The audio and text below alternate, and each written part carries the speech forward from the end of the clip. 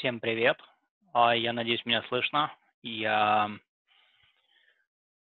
я думаю, что все хорошо, поэтому давайте э, я представлюсь, расскажу немножко о себе, а потом расскажу о том, о чем хотелось бы с вами поговорить и почему, а потом мы оставим время на вопросы и ответы. Я решил, что специально не буду готовить для вас презентацию, для того, чтобы у нас получилось как-то более детально проговорить крат- краткую вводную часть и потом переключиться больше на интерактивные моменты. А, Вас много, я уверен, что среди вас вы сможете сгенерить отличные вопросы, и я с удовольствием на них отвечу. Я в Детарте уже 9 лет. Я пришел в Детарт в 2011 году в Воронеже и стал работать менеджером проектов. Как менеджер проектов я отвечал за то, что то, что мы пообещали заказчикам, мы выполним, и при этом попадем в бюджет, попадем в обещанные сроки и сделаем это с наивысшим качеством, которое мы сможем сделать. И в течение какого-то времени у меня появился портфель из проектов, в которых я выполнял эту функцию и функцию э, взаимоотношения на уровне взаимодействия с клиентом целиком, а не только проекта. Мы разговаривали с ними о других проектах, мы а, думали, делали какие-то прототипы, и в какой-то момент мне предложили внутри DataArt переехать а, в Нью-Йорк и перейти в роль engagement менеджера. Engagement менеджеры внутри DataArt отвечают за отношения с клиентом в целом и за развитие этих отношений, так чтобы один проект плавно перетекал в другой, чтобы мы находили новые области, в которых мы можем клиентам помогать, для того, чтобы мы помогали их бизнесу расти, потому что если мы это делаем, то клиенты с нами будут хотеть продолжать работать больше и расширять наш бизнес с ними. В Нью-Йорке я пожил примерно год. Я в этот момент э, в Нью-Йорке было у нас около 25 человек, и это было очень хорошее погружение в то, как живет офис, который клиент-ориентированный, в который приходят клиенты, с которыми мы взаимодействуем. А потом я переехал в Вирджинию-Бич. А в Вирджинии-Бич мне посчастливилось работать с руководителем travel практики Грегом Абботом, вместе с которым мы э, работали и развивали а, бизнес направления travel и туризм а, внутри DataArt. Как вы, возможно, знаете, DataArt специализируется на нескольких вертикалях, и а, примерно с 2013 года я преимущественно работаю с travel. Вот.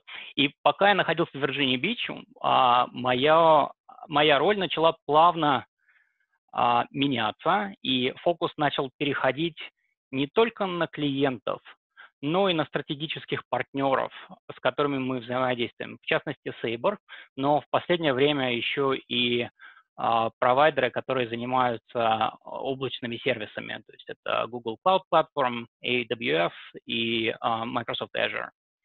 И когда я переехал в Техас а, чуть больше года назад, мой фокус совсем туда переключился, и сейчас я занимаюсь тем, что формирую а, вместе с нашими командами, которые работают здесь и на sales стороне, и командами, которые работают по всем нашим продакшн а, офисам а, и занимаются research and development, предложения для наших клиентов, которые взаимодействуют с этими платформами.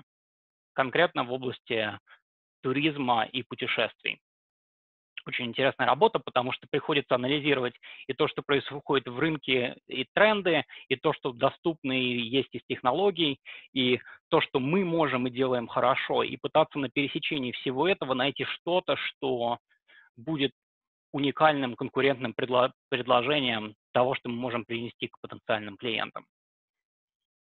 Вот.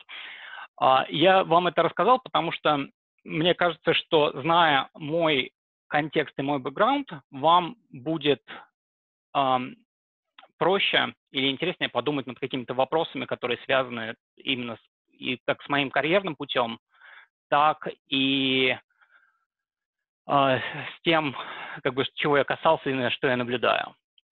Вот. А я вижу, что уже начали приходить вопросы. Э, что для меня такое IT-сфера и почему э, для меня лично это интересно?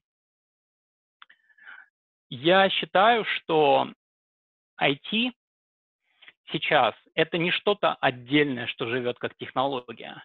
Это то, что является естественной составляющей больше, большинства бизнесов. сейчас нельзя разделять то, что есть бизнес и есть IT. IT делает что-то свое, а бизнес делает что-то свое. Мы сейчас во всех областях стараемся выделить те вещи, которые нужно и можно автоматизировать, и автоматизируем это, это для того, чтобы высвободить больше времени на то, чтобы оставлять человеческий фактор. И вот это вот сочетание то, что уникально человеческое, и то, что люди делают как взаимоотношения друг с дружкой, и то, что достаточно механическое, автоматизированное, или то, что можно вообще исключить из процесса, оно меня невероятно привлекает, потому что оно позволяет нам сфокусироваться на том, на общении. И, собственно, про общение и про то, как нам эффективнее взаимодействовать друг с другом и с собой тоже, я хотел с вами поговорить. Смотрите, я тут пока буду вам сейчас рассказывать несколько историй, я буду упоминать разные ресурсы, разные технологии, приложения. Я подготовил список, который мы вам пришлем в Telegram, для того, чтобы вам просто не пытаться сейчас идти и искать в поисковиках. Это у вас будет шпаргалка, и плюс, если вдруг что-то я забыл в этот список включить, вы не стесняйтесь потом спросить, я а, помогу найти концы от того, все, от всего того, что я упоминаю. Так вот, когда мы говорим про коммуникацию синхронную, я здесь думаю о трех разных подходах к этому.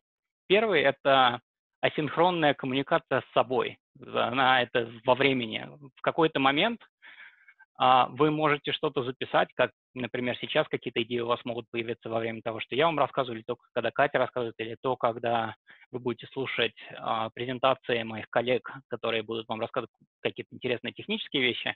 У вас могут возникать вопросы, у вас могут возникать мысли, или у вас могут возникать идеи. Записывая их сейчас, вы можете а, ими воспользоваться в будущем и на базе них построить себе какой-то путь или развитие. Но у меня есть куда более практическая для меня и личная а, причина, почему я пишу. И я хотел бы ей поделиться с вами. А, когда-то в 2007 году а, Скотт Адамс, это создатель комиксов про Дилберта, написал пост а, по совету по карьере. И там он сказал о следующем. Если вы хотите, чтобы у вас была удивительно классная карьера, у вас есть несколько способов это сделать. Первый способ – это стать лучшим в мире в чем-то одном. Но, говорит, вероятность того, что э, вы в этом преуспеете, она достаточно низкая, потому что статистически просто очень тяжело, вы должны быть сильно лучше, чем остальных. Другой вариант, который он рекомендует, это стать очень хорошим в двух или в трех вещах. И он дает пример себя как а, человека, который неплохой юморист, хороший художник и человек, который понимает бизнес. И вот эти три направления позволяют ему создать очень популярный комикс а, про жизнь офисных работников, конкретно в IT. Я считаю, что одним из, вектор, из векторов развития для вас, и тут, тут уже это просто как общая рекомендация, это софт-скиллы и эффективная коммуникация. И в современном мире, в том, когда мы распределены по разным офисам, работаем из дома, а, и все больше компаний переходят на распределение состояния, письменная коммуникация имеет все больший вес. И письменная коммуникация в большом плане. Для меня а, письмо начинается с того, что я так собираю информацию. И какое-то время назад я стал думать а, вслух, ну как вслух, печатая что-то для себя или записывая что-то в блокнот. DataArt, когда общается с клиентами, мы, как правило, не начинаем с технологий. Мы приходим и пытаемся решить бизнес-задачи. И как это, следуя совету Дил, э, Скотта Адамса, у нас тоже есть сочетание навыков. Мы очень сильны в инженерных, в инженерных навыках, у нас прекрасные специалисты. Мы замечательно умеем а, вести проекты достаточно большие и сложные, когда у нас есть несколько команд. Но вот эти, вот эти два преимущества, они еще дополняются пониманием индустрии.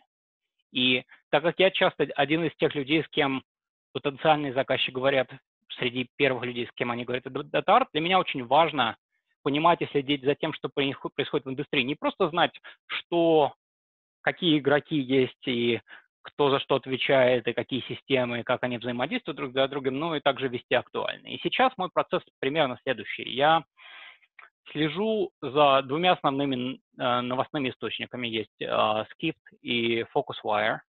Это два новостных источника, которые говорят про все, что связано с travel и туризмом. Я каждый день выбираю по одной статье, всего по одной, и я ее очень внимательно читаю. И когда я говорю внимательно читаю, это значит, что я оттуда пытаюсь выделить следующее. Я пытаюсь выделить факты, я пытаюсь задать себе вопросы, а что из этого там мне непонятно. И третье – это я на основании того, что прочитал, пытаюсь выделить какие-то идеи. И эти заметки потом идут в различные системы внутри а, моей системы заметок. Факты а, я перетаскиваю в свою систему интервального повторения. Если вы не знаете, что такое интервальное повторение, пожалуйста, я вас умоляю, сходите и посмотрите. Spaced Repetition. Я очень жалею, что в студенческие годы мне про это никто не рассказал. Потому что это система, которая позволяет вам минимизировать усилия на запоминание какой-то информации навеки. Фактически вы начинаете контролировать то, что вы помните факты. И вот в области доменных знаний, понимание каких-то фактов о каких-то игроках, об относительных размерах, о том, кто кого купил, когда, кто где, когда работал и как эти тренды взаимодействуют, они иногда бывают очень важны. Я вот использую конкретное приложение Анки, которое бесплатное для того, чтобы синхронизироваться вокруг и, и, и понимать, что происходит в мире тревела. Вот, а вопросы и идеи, вот как раз они потом начинают создавать информационный поток, который совершенно случайно через неделю, через месяц, через полгода после того, как я это прочитал, всплывает в разговоре с заказчиком и является интересной темой для разговора или тем, что в конечном итоге позволяет людям решить, что они хотят с нами работать. Поэтому как бы завершая, завершая вот эту часть разговора, а, мне бы хотелось вам очень порекомендовать уже сейчас тренировать свои навыки ведения заметок, потому что это не только для университета и только, не только для учебы. Это продолжается и после университета, и оно является важной составляющей вашей работы. И второй момент здесь когда я прочитал вопросы, которые вы задавали там, в рамках подготовки к этому э, выступлению, я обратил внимание, что очень много вопросов про технологии, про, про тренды, про софт-скиллы, и очень мало вопросов про домены э, какие-то, которые связаны с, с работой, с индустриями, которые взаимодействуют. И так как есть вот эта очень тесная связь между технологиями и бизнесами, моя рекомендация для вас это начать смотреть в какие-то индустрии, которые вам могут быть интересны. А, это могут быть финансы, это может быть здравоохранение, это может быть а, travel. И начинать получать контекст, потому что по моему опыту те, кто лучше понимает, что происходит и зачем мы пишем тот софт, который мы пишем, они намного быстрее растут, развиваются, они доносят намного более качественную работу, и они получают больше удовольствия от своей работы, потому что они понимают, какой вклад они делают. Вот. Теперь я бы хотел вам поговорить, поговорить немножко еще про взаимодействие с командой. Возвращаясь к вашим вопросам, которые были в подготовке, это про то, как организовывается работа в команде. Есть такой замечательный документ, он появился в 2019 году летом. А, тут, тут такая история. Я в июне прошлого года поехал на небольшую конференцию от Atlassian. Atlassian uh, устраивал um, Atlassian Team Tour. Это серия небольших конференций по разным городам, где выступали их CIO и это Chief Information Officer, и а, другие представители команды рассказывали о том, какие тренды они видят, как они видят взаимодействие работ. И один из а, людей, который там выступал, был аналитик из а, Форестера, который рассказывал о том, как меняется работа в мире произведения какого-то цифрового цифров, цифровых технологий. Либо это цифровой контент, либо просто перевод работы из физического мира в цифровой, когда мы больше не носим бумажки, а что-то записываем. И а, я с ним поговорил после выступления, и он сказал о том, что он вместе с Open Group, это, а, это организация, которая занимается стандартами, готовит новый стандарт, который называется Digital Practitioner Body of Knowledge. А, есть похожие документы вокруг бизнес-аналитики, есть по, по поводу project менеджмента. Вот этот документ, он говорит о том, как современные компании делают IT.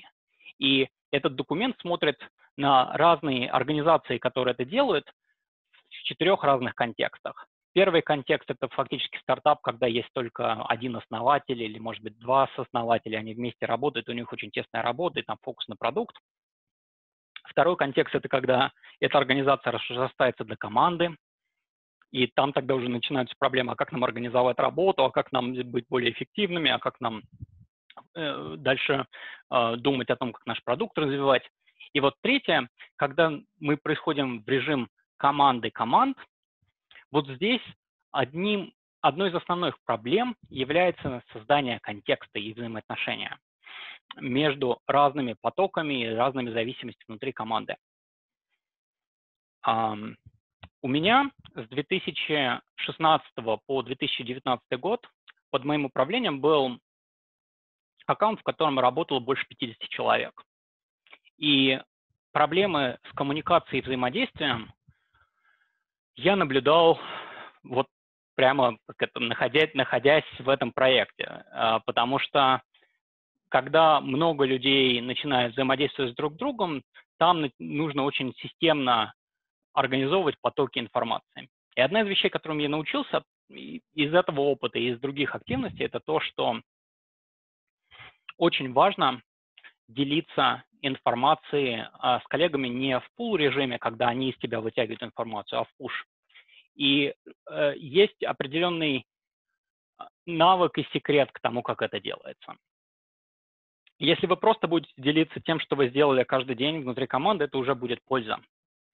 Но если это делать как, и рассматривать это как сериал, в котором есть какая-то история за пределами ежедневных этих, этих ежедневных каких-то обновлений статусов, то тогда все становится намного интереснее, потому что тогда э, ваши коллеги и те, с кем вы работают, начинают улавливать центральную тему и нить из того, что вы делаете. Например, вы работаете над какой-то там функцией, если вы программист, или у вас э, грядет э, подготовка к большой регрессии, если вы работаете в QA, или вы работаете над улучшением какого-то процесса, если вы project менеджер. И наблюдение о том, что у вас происходит, как вы к этому подходите и как вы изо дня в день системно кладете усилия в то, чтобы эту инициативу продвинуть вперед, это создает общий контекст для команды, и это позволяет всем принимать лучшие решения и быть эффективнее как, как единое целое.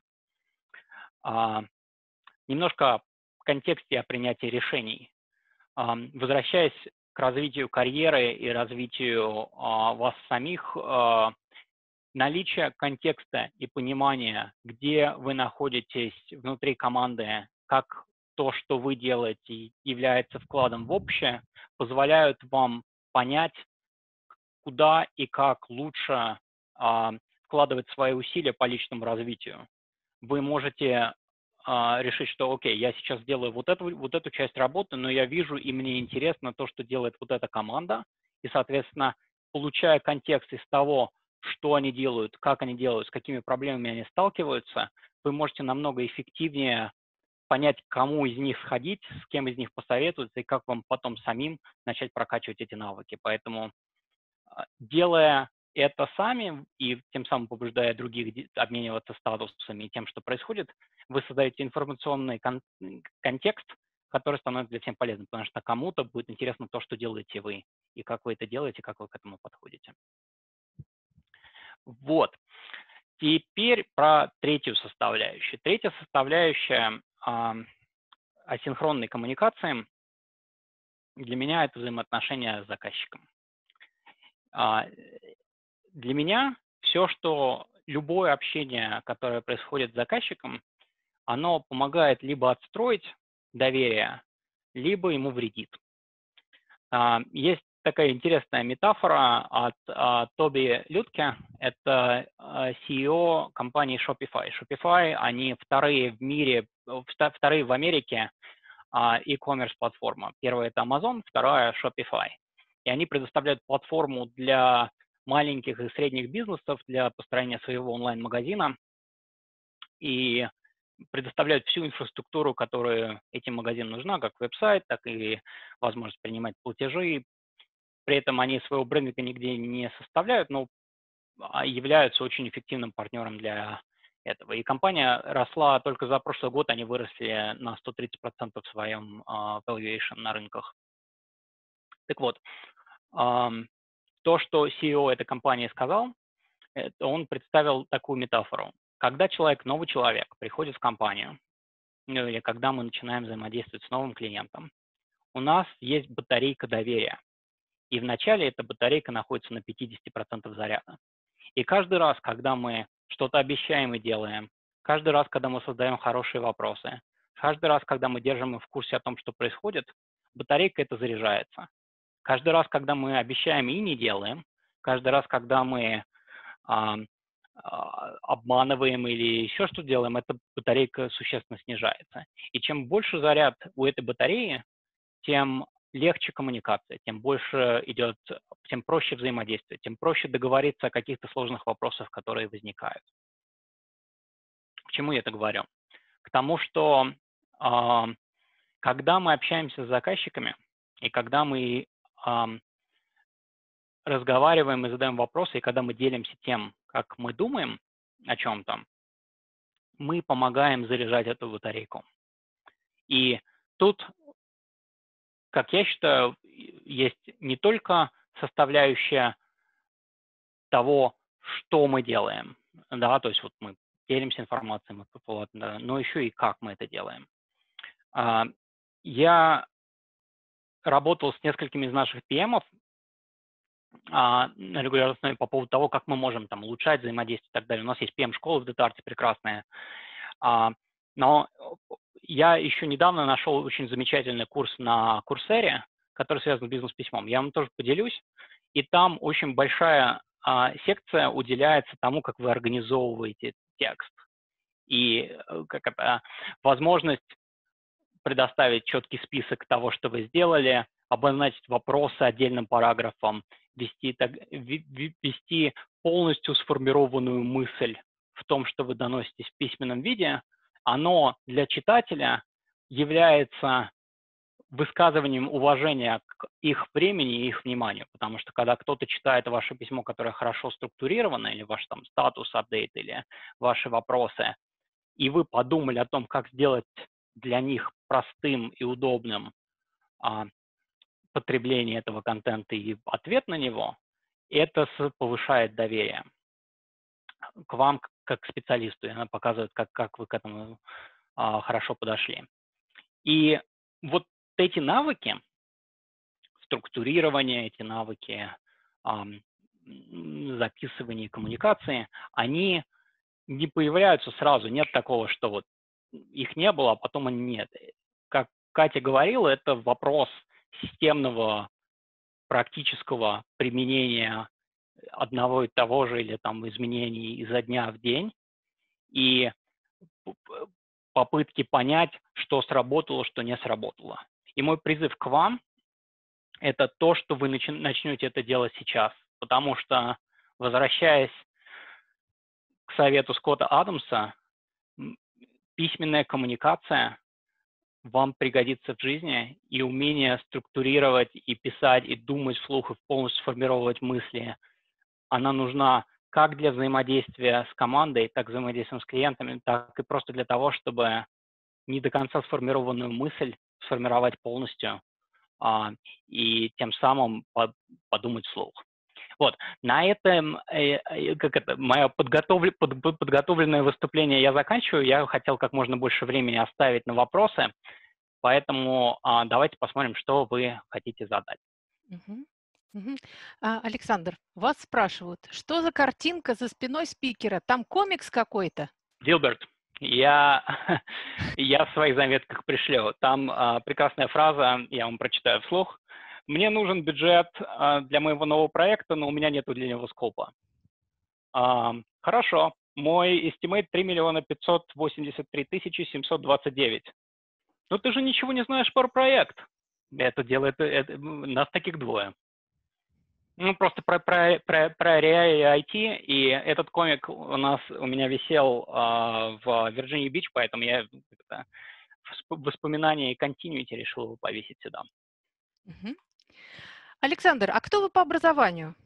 У меня два образования. Я окончил а, ВИФТ, это Воронежский институт высоких технологий, и а, окончил Воронежский государственный университет с дипломом а, переводческим, переводческим, переводческим дипломом. То есть у меня иностранные языки и IT. А, спасибо. Александр, подскажите, как вы выходили из зоны комфорта, чтобы заставить себя обучаться и достигать своих целей? А, я продолжаю с них выходить. А, мне недавно а, читал книжку и там было прекра- прекрасное э, про мотивацию э, пункт, связанный под, с тем, что мы начинаем какие-то вещи, мы не всегда начинаем какие-то делать вещи, потому что у нас есть мотивация их делать, а иногда мы что-то начинаем делать, и потом у нас появляется, появляется мотивация. Поэтому тут, тут иногда не нужно ждать, что придет вдохновение что-то сделать, а нужно просто начать делать, и оно потом появится. Я вот это индустриальное а, мое накопление знаний, я сейчас себе поставил не больше одной статьи в день, потому что иначе будет слишком много, но чаще я, часто я стараюсь, начинаю одну делать и потом увлекаюсь. Вот. И это такие ментальные хаки, как э, себя это, потихонечку сказать, типа, не, не, не, там, там всего чуть-чуть будет, а потом увлекаешься, и как-то оно пошло. Самое страшное начать. Uh-huh. И вот как раз про начало следующий вопрос. А с чего вы начинали путь в IT? А, после университета а, у меня есть очень хороший друг Денис, и мы с Денисом открыли свою а, компанию. Сначала мы строили а, в Воронеже путеводитель кафе и ресторанам. Это был тогда инновационно, 2008 год. А, мы делали что-то на Ruby on Rails, проходили, продавали, пытались контент. Вот, эта штука у нас провалилась с тревком через 18 месяцев, но пока мы это делали, нам для того, чтобы начать э, как-то генерить деньги, мы начали делать сайты. И так у нас появилась веб-студия. Причем веб-студию 2009 а, года мы начинали фокусироваться на а, мультивариантном и АБ-тестировании и помогать клиентам оптимизировать сайты. То есть мы работали с, а, с компанией, которая драйвила трафик, на сайты, а сами занимались оптимизацией полным uh, managed services для ведения. Вот, э, компанию мы продали другой веб-студии uh, два года спустя, и я пришел работать в DataArt. То есть как-то я сразу в IT занырнул. А, Александр, и вот как раз про DataArt. Э, ребята задают вот какой вопрос. А, а чем а, ваша компания отличается от других? Ну вот я сейчас, когда мы находимся в состоянии, когда заказчики работают, потенциальные заказчики рассматривают нас и кого-то еще, есть какие-то области сравнения. Да? Есть компании, которые исключительно такие рекру- рекрутинг-агентства, то есть заказчики хотят просто нанять людей а, и сами их там менеджерить с ними, работать взаимосвязь. Мы, мы не такие. Мы а, нанимаем людей в DataArt, они работают в DataArt, и они работают над разными проектами, и у них есть саппорт-система из всего дата можно пойти там и к специалистам, и поучиться, и повзаимодействовать. И вот вчера разговаривали, там, сетевой очень большой публичной компании, и он говорит, это очень круто, когда вы... Это значит, что люди, которые у вас работают, они будут с вами работать дольше, они будут понимать value от этого. Действительно, те люди, с которыми я в 2011 году, когда пришел и начал взаимодействовать, многие из них до сих пор в Дарте, это вообще прекрасно. Вот. Второе – это как раз индустриальная специализация. Мы когда в 2012 году начали делиться, ну, то есть мы выросли достаточно большие, что нам а, было сложно как одному, одной большой компании, нам нужно было какое-то разделение, мы стали фокусироваться как раз на а, разных индустриях, и это очень помогает, потому что когда мы приходим, ну, например, к travel клиенту, и мы понимаем то, как работает продажа отельных номеров через все системы, от, от системы, которая сидит в самом отеле, до там Central Reservation System, GDS и так далее, и так далее, и какие сервисы, какие проблемы на разных этапах, где там взаимоотношения, какие игроки, как с этими игроками делать. У нас там 300 разных интеграций, которые мы сделали за последние 5 лет. Разговор переходит на уровень уже бизнес-задач и бизнес-проблем, а не сколько там, стоит нанять одного человека, потому что мы помогаем им просто не волноваться о каких-то задачах, потому что мы имеем опыт релевантный, который им помогает закрыть. И вот опять же, там сочетание навыков, размеры, достаточно большие проекты, отличные инженерные навыки и домен, они помогают, это сочетание помогает нам быть очень конкурентоспособными. А, несколько вопросов а, о вашем видении того, как работают PM. А вопросы три, сейчас их все зачитаю. Первый. Является ли для PM важным скиллом именно навыки программирования в скобках кодинга? Важно ли для PM быть тестером, девелопером в прошлом? И, Александр, какой у вас был уровень английского в начале работы PM? Э, в вакансиях джуниоров пишут, что нужен уровень не меньше upper intermediate. Но ментор на курсах говорила, что для начала хватит и базы. Mm-hmm. Начну с последнего. А, с английским у меня было все хорошо. Я а, в тот момент сдал а, самый высокий уровень кембриджских экзаменов по английскому. То есть тут просто сложилось много факторов. Во-первых, я английский учил там, 6 лет. Я провел год в Штатах как финалист программы Future Leaders Exchange. Я потом проехал, потом у меня одно из образований языковое, где-то английский язык. То есть английский по всем нашим там внутренним оценкам и по собственному ощущению комфорту я знал свободно. Вот, поэтому тут, я не знаю, не очень показательно, но мне кажется, а, английский язык и вообще общие коммуникационные навыки за пределами а, английского – это то, что PM очень важно прокачивать, потому что PM работает и на команду, и на заказчика, и PM нужно понимать и взаимодействовать с людьми очень эффективно. Вот. А про опыт а, программирования, тестирования, я знаю многих PM в DataArt, которые так начинали. Я знаю, у меня в командах один из аккаунтов, который у меня когда-то был, как я project менеджер я передавал тим лиду в тот момент, и этот тим лид потом стал project менеджером Это полезный навык. А, другое дело, что когда вы переходите и в какой-то момент перестаете кодить или перестаете тестировать, то тут важно уметь отпускать. А, есть, есть, есть несколько а, хороших книжек по менеджменту. А, вот Майкл Лоб очень хорошие книжки пишет, и у него есть книга Managing Humans, и еще недавно вышла Art of Leadership. А еще есть очень известная и очень классная книжка по менеджменту Энди Грова.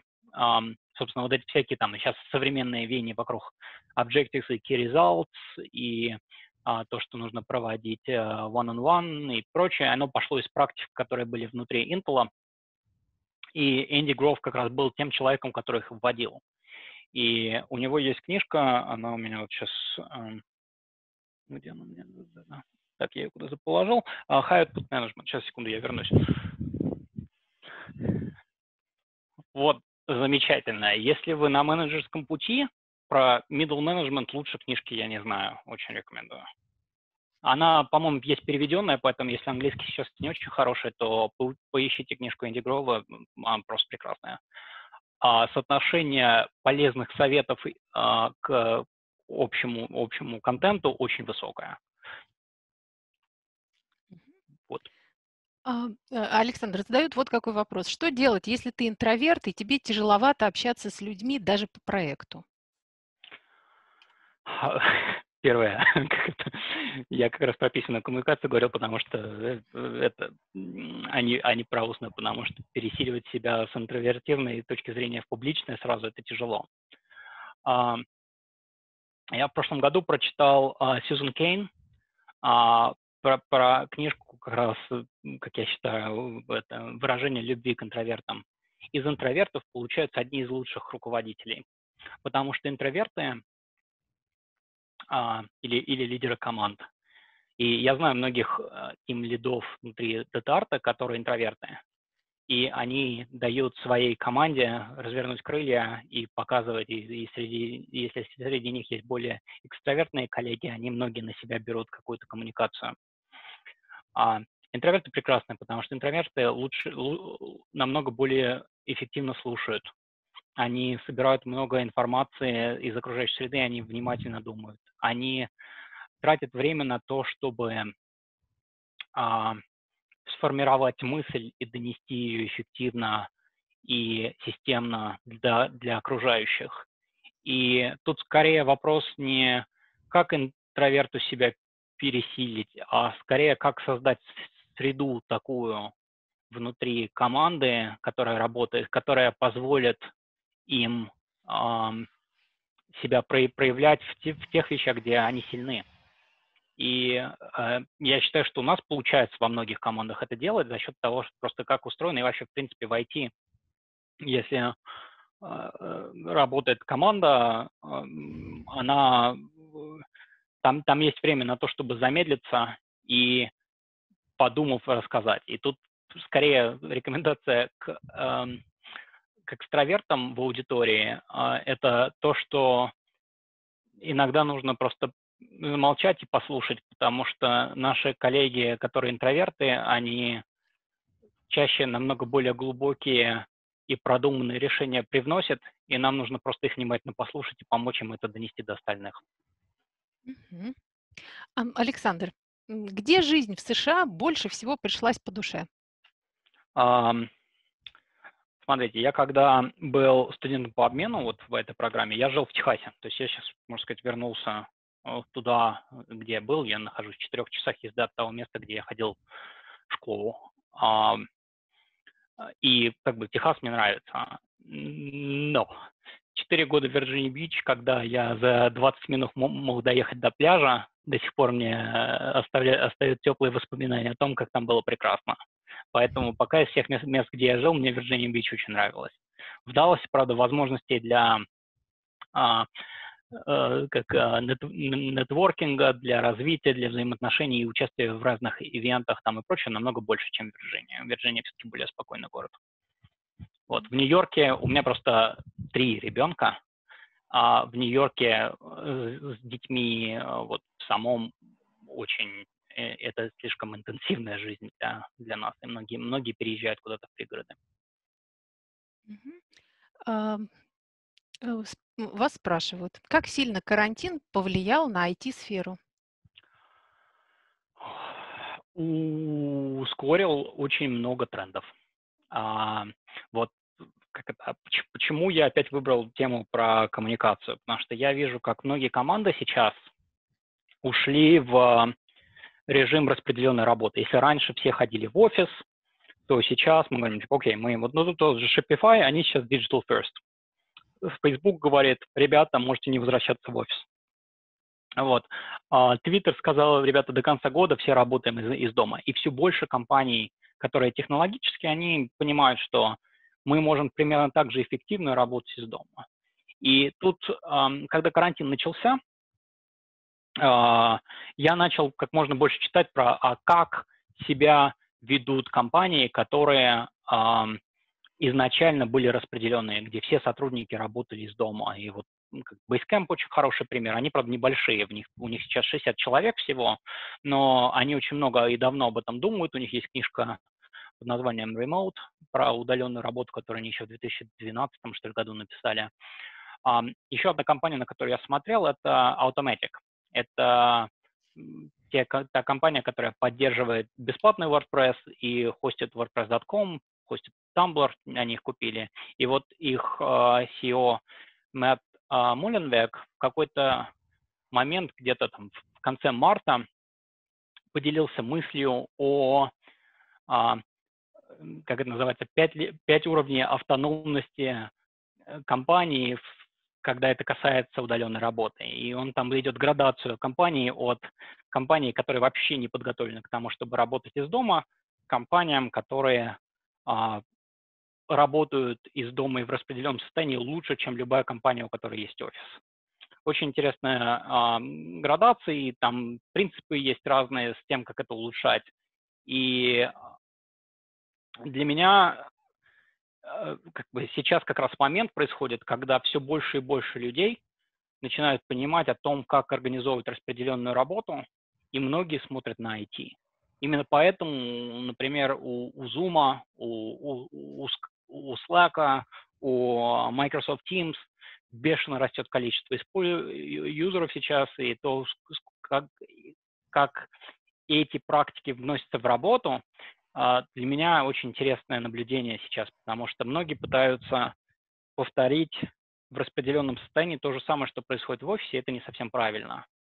А гораздо правильнее принять то, что люди могут и будут работать, находясь дома по своему расписанию, и начинать смотреть, как можно обмениваться эффективной информацией и как можно делать так, чтобы фокус был на, собственно, результатах труда, а не то, как там каждый индивидуально что-то делал одновременно с друг другом, сидя на работе.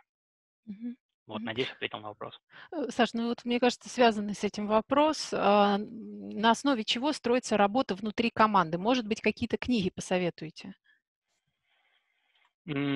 Я вот, вот, вот про digital проекты, любое создание любых систем, я очень рекомендую э, вот этот Digital Practitioner Body of Knowledge, оно является хорошей отправной точкой о том, как современные эти проекты делать. Там и про DevOps, там и про организацию труда, и про планирование, и про то, что эм, разумно делать на каких уровнях размера команды. Потому что делать какую-то сложную систему portfolio management, когда вы находитесь в стартапе, это неразумно. А когда вы а, находитесь команда команд, то там приоритизация и бюджеты начинают уже иметь серьезную роль, потому что это у, у разных людей разных контексты, это все собирать воедино важно и, и нужно. Документ долгий и, и, и очень емкий, по-моему, 300 страниц, я не помню, я прошлым летом его читал, но а, ну, очень, о, очень полезный с точки зрения прочитать и, и проникнуться, очень а, хороший.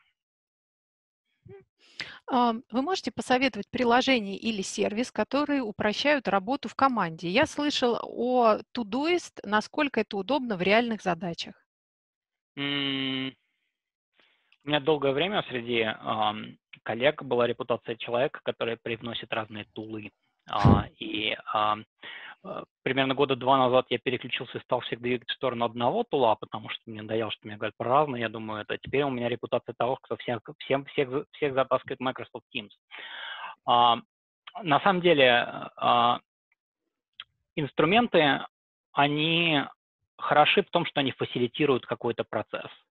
И выбор инструментов часто зависит от потребностей команды. По умолчанию внутри проектных команд DataArt мы, например, для там, разработки менеджмента требований и прочего используем а, Confluence для там, информации внутри команды, а, Jira для трекинга задач. А, часто в качестве чатов у нас возникает там вы выберите свой либо Slack, либо Teams, либо Skype, там в зависимости от того еще, чем заказчик пользуется. И плюс еще всякие там какие-нибудь тест-треки для для АКУА. Про это, мне кажется, люди, которые будут выступать после меня дальше, могут рассказать больше. Э, это, мне, мне еще интригует Basecamp, но он не для Reality Data, потому что он больше настроен для компании, которые а, small and medium business. Кстати, посмотрите, если вы работаете в маленьких командах или там в небольших группах, если а, там до 50 человек, директор по стратегии а, Basecamp Райан Сингер написал замечательную книгу, которая доступна публично и описывает то, то, как они работают с точки зрения формирования скопа и процесса. Называется Shape Up. И э, она очень дает хорошую систему, которая цельная и полностью себя описывает по тому, как строить небольшие проекты. И а, с точки зрения продукт менеджмента хороша, и еще хороша тем, что он дает очень много автономности командам, которые работают, принимать решения, как делать детали. И это все потом в ссылке вам это сброшу. Э, очень просят повторить, как называется статья Скотта Адамса. А, это не статья, это называется штука Career Advice. А, Скотт Адамс, а, она на Dilbert блог. А, давайте сейчас опубликуем ссылку, хотя можем мы вот можем. ссылку на материалы, и может быть тогда Конечно. часть вопросов отпадут, я потом туда добавлю еще ссылок.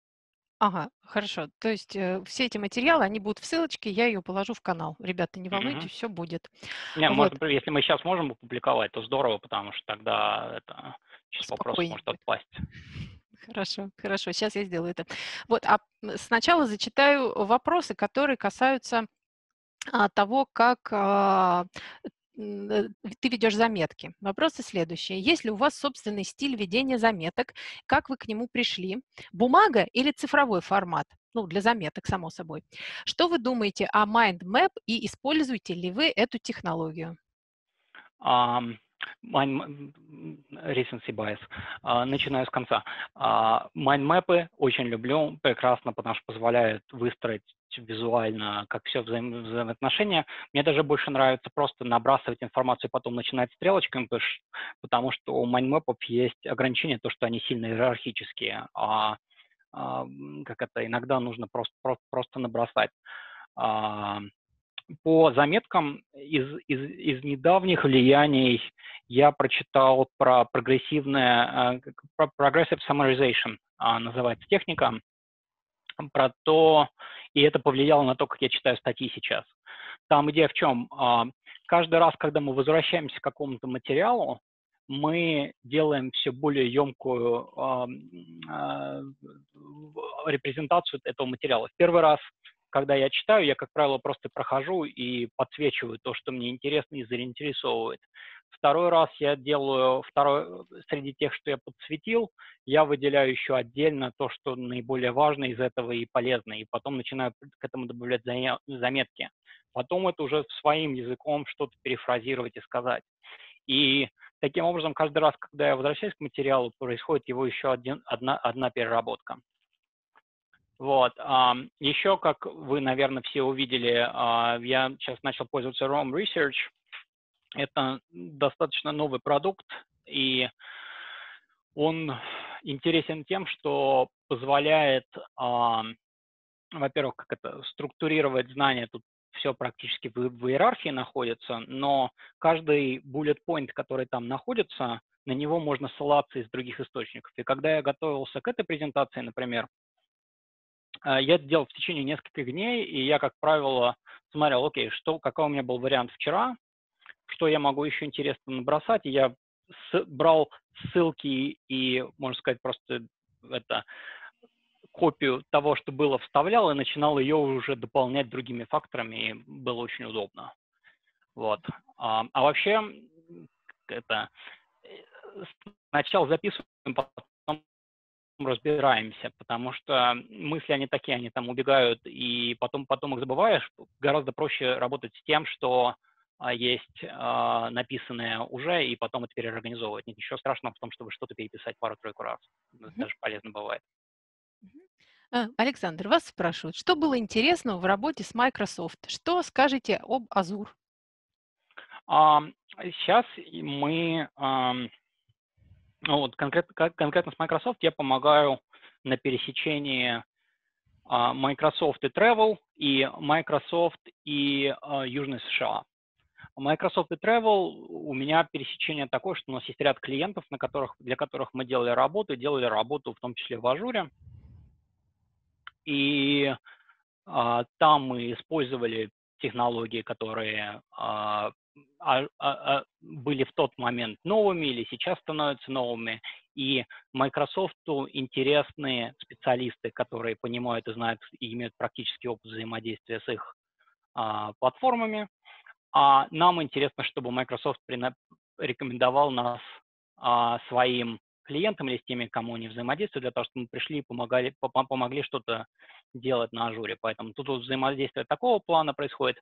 У Microsoft сейчас большой фокус на их uh, BI-сервисы uh, и, и uh, вся, всякие, то, что связано с дата-менеджмент. И у нас есть огромная очень классная компетенция людей, которые как в продакшн, так и на стороне там solution consultants, и очень много взаимодействия идет в этой области. Александр, когда вам было 18-19 лет, какое будущее вы себе представляли? У меня в одной из а, версий вводного слова к вам было про то, что когда я пришел в Датар в 2011 году, я понятия не имел, чем я буду заниматься в 2020. То есть у меня было какое-то общее представление. Наверное, я тоже буду продолжать работать в IT и какую-то клиент-ориентированную работу делать. Но деталей я не знал. Я я, у, есть, есть общие интересы и общие направления, и общие интересы были всегда на каком-то пересечении между а, решением интересных а, проблем, а, технологиями и взаимодействиями с командами. Ну, то есть мне, мне очень нравится работать в командах, мне очень нравится от, отлаживать ком, коммуникацию этих команд и повышать их эффективность и вместе достигать а, каких-то сложных задач. Два вопроса, которые касаются темы а, профессионального выгорания сформулированы следующим образом. Вы долго работаете в, схожей сфере, Project Manager. Было ли у вас профессиональное выгорание? Если да, как с этим справлялись?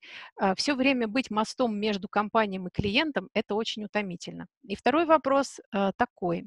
А, когда начали работать, часто ли были промежутки выгораний и как вы с ними справлялись? У меня роль менялась примерно каждые три года и такого выгорания не случалось. Но иногда бывает устаешь, иногда бывает, что достаточно интенсивно, но это скорее вопрос а, личного планирования, оценки того, что лично можешь позволить себе. Для того, чтобы делать качественную работу, нужно выделять достаточно времени на то, чтобы ее делать. Пытаться делать очень много вещей одновременно – что у меня иногда возникает, это и, и симптомы выгорания. Это как раз хорошая обратная связь к тому, что нужно на, мен, на, мен, на меньше соглашаться, а больше деливерить из того, из того, что можешь сделать. Вот, поэтому эм, я, я всегда стараюсь еще и пытаться научиться чему-то новому из того, что я делаю, и за счет этого получается очень интересно все. Про обучение три вопроса. А, лучшее обучение через ошибки. Поэтому подскажите, пожалуйста, какие у вас были ошибки и как вы их решали? У, да каждый день какое-то что-то что-то что происходит. Тут вопрос обратной связи. У меня из, из больших и запоминающихся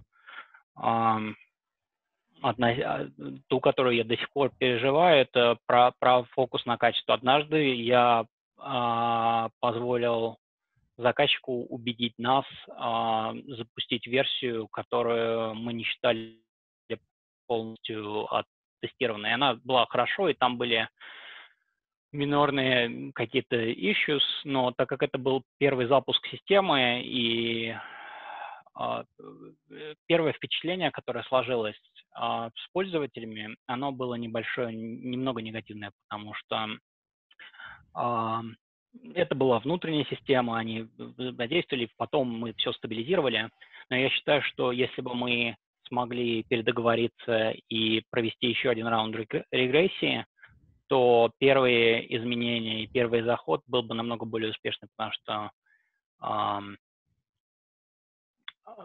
первые впечатления здесь имеют очень большое значение, особенно когда мы запускаем новую систему, и особенно если это то, над чем мы работали долгое время. Вот, с тех пор я чуть больше стал давить на качество, что очень коррелирует с тем, как мы работу делаем вообще, в принципе. Вопросы про образование. Следующие. Скажите, пожалуйста, что вы думаете об образовательном туризме? Работали ли вы в этом направлении? И второй вопрос. Какой вы можете дать совет школьникам, выпускникам и студентам учиться в России или же стремиться поступить в иностранный вуз? Где, по вашему мнению, выше уровень подготовки в области IT? Про образовательный туризм и вообще про туризм в целом. Причина, почему я работаю в тревеле э, и, и продолжаю работать. Почему мне это интересно? Потому что я вижу невероятную пользу от того, как меняется взгляд на восприятие окружающего мира, когда вы попадаете в, другу, в другую культуру. И способность путешествовать, будь то для образования или просто для того, чтобы посмотреть другой мир и желательно побыть какое-то время, больше, чем несколько дней, и пообщаться с местным народом, понять, как они думают и что они делают, они очень помогают понять, насколько мы все разные, но в то же время, насколько мы все одинаковые, как с этим взаимодействовать. Про образование мне комментировать сложно. Я считаю, что я получил отличное образование, и оно мне дало замечательный старт. Вот, я вижу среди наших специалистов э, из всех офисов, в которых мы работаем, отличных специалистов, и э, тут, мне кажется, основ, основной мой, мой комментарий – это есть среда, в которой вам учатся, и есть люди, с которыми вы взаимодействуете, и какие, какая-то среда позволяет вам учиться лучше, но в конечном итоге вы учитесь сами и насколько вы хотите научиться, и что вам интересно, и как вы идете там, в соответствии с своими увлечениями, и как вы продолжаете копать и идти за пределы к теме наших бонусных вебинаров внутри Детарт практики, да, оно является очень важным фактором во всем этом. И сейчас, как никогда, доступность а, лекций и практических заданий мирового уровня стал доступным. Посмотрите на Coursera, EDX и другие ресурсы, где можно получить просто восхитительный контент а, и очень, и очень каче, каче, качественные, качественные материалы. Поэтому сейчас просто нужно хотеть и понимать, что вам интересно дальше учить. Вопросы, связанные с релокацией. А, вы сказали, что у вас трое детей. Расскажите, пожалуйста, хотя бы в нескольких словах, трудно ли было постоянно переезжать с таким семейством? Как семья на это реагировала? И второй вопрос. Когда слышу подобные захватывающие истории о релокейтах по работе, всегда задаюсь вопросом о семье. Другой человек спрашивает. Не составляло ли труда переезжать в разные точки несколько раз? Ну, um, в обоих случаях жена моя мой герой. А, вот, потому что а, очень много на нее легло, связано там и с детьми, и, с, и э, когда мы переезжали а, в Штаты, ну, с точки зрения карьерной, ей пришлось поставить на паузу свою карьеру, поэтому это было сложно. Как это, переезжать я не люблю, потому что это достаточно большой стресс. Это надо же все собрать, найти, куда мы переезжаем, как и так далее. Но а, общая мобильность в Штатах достаточно высокая. А люди, которые, с которыми мы пересекаемся по работе, они достаточно часто куда-то переезжают несколько раз в жизни. Вот. Um, ну и, коллеги, у нас остается буквально одна минутка для того, чтобы задать какой-нибудь э, совершенно потрясающий из вопросов.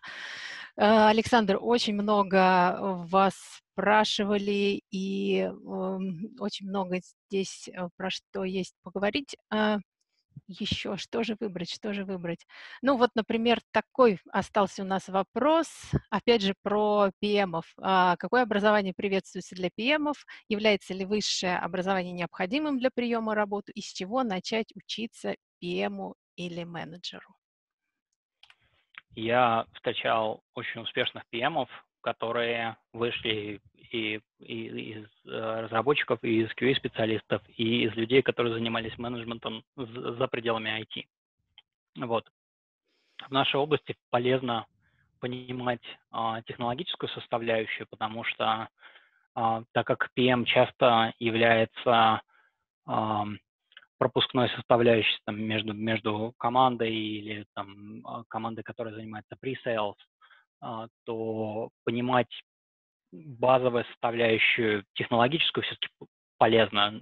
И это можно выучить. Я знаю коллег, которые пришли в DataArt и были достаточно далеки от IT и в течение времени а, освоили достаточно, чтобы когда know enough to be dangerous.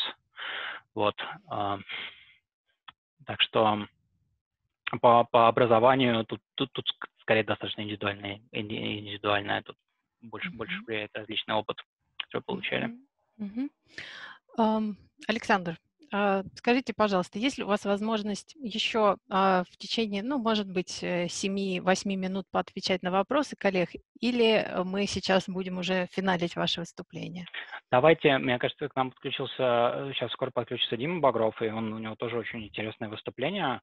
А со мной, э, я думаю, что мы можем придумать какой-то асинхронный способ ответить на ваши вопросы. Я какое-то время уделю на этой неделе, еще поотвечаю, поотвечаю в письменном виде. Uh-huh. Uh-huh. А, тогда все заданные вопросы а, мы отправим Александру и опубликуем а, в нашем канале а, летней ознакомительной практики. Александр, зачитаю сообщение, которое было вам отправлено. Спасибо огромное, Александр. Очень четко озвучены мысли, очень интересно, сжато. Спасибо, что поделились вашим опытом. Удачи вам в ваших делах. Вам спасибо и вам, ребята, удачи. И, а, на самом деле вы а, огромные молодцы, что вы выбрали по, выбрали поучаствовать в нашей программе, и мы со своей стороны, мне кажется, все, кто участвуем, очень стараемся для того, чтобы вы каждое, каждое выступление нашли очень полезным и, для, и из него что-то практическое могли применить э, в развитии своей карьеры. Спасибо всем.